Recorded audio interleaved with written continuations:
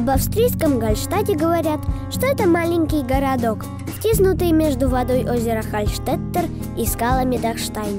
Там очень мало места. Сегодня в нем живет всего 780 человек. За год в Гальштате бывает около 70 тысяч ночевок путешественников, так что жители городка живут туризмом. Правда, туризм начал развиваться здесь не так давно, всего около 100 лет назад. А вот разработкой соляных месторождений и добычей соли в Гальштате занимались еще 3000 лет назад. Первый век до нашей эры называют эпохой Гальштатской. А, в Средней Европе появляются кельты, которые научились обрабатывать железо. Благодаря этому начинают производить кирки и добывать соль. Кстати, слово «хал» в слове «гальштадт» обозначает именно соль. Чтобы узнать больше о добыче соли, мы отправились на экскурсию в соляные копи, которые считаются самыми старыми в мире. Соляные копи находятся над Гальштатом. Подняться туда можно пешком по извилистой дорожке, а можно на фуникулере. Сразу после подъема попадаешь к башне Рудольфстурм, построенной еще в 13 веке. Сейчас там находится ресторан и смотровая площадка. И вот, наконец, соляные копии. Нам выдали спецодежду для шахтеров. Выглядели мы как заключенные. Хотя Сашка сказал, что как миллионеры, потому что толстенькие.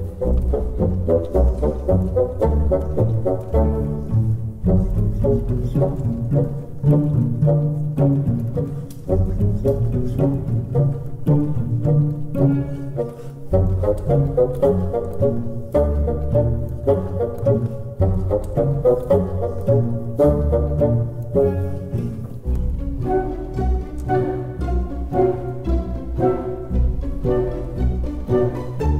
шахтах было много интересного. Нам рассказали, что когда-то в этих местах было море. Потом море пересохло, а соль осталась. Из-за вулканов и землетрясений пласты земли начали сдвигаться. Соль оказалась глубоко под землей, в горе. Однажды гора раскололась, и соль показалась людям. Мы ходили по шахтам, смотрели и слушали об истории и разработке соляных месторождений. И даже покатались на горке с измерением скорости.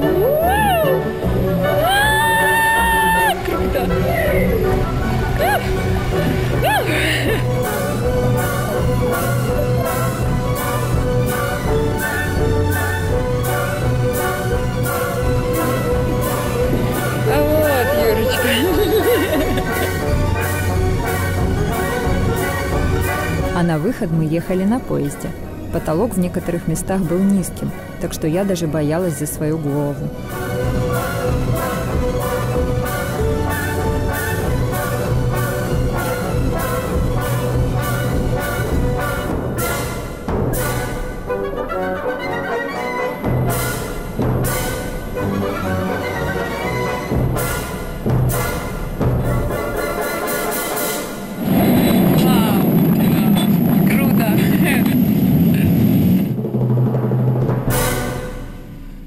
2012 году в Китае появилась копия Гальштата под названием Эхо Таун.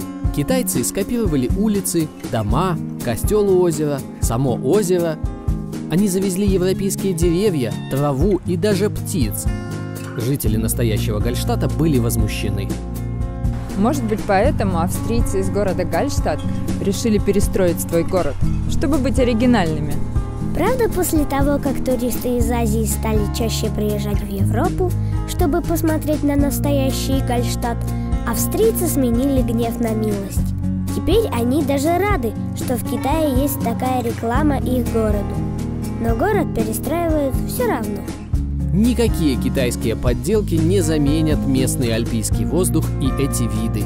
Если вы поедете в Гальштадт, обязательно сходите в соляные шахты. Опробовано подорожниками.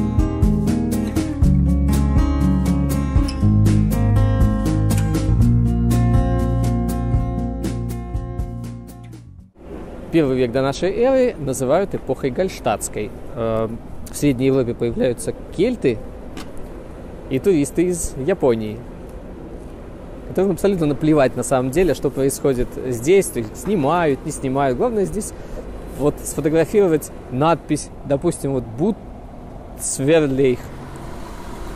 И вам добрый день.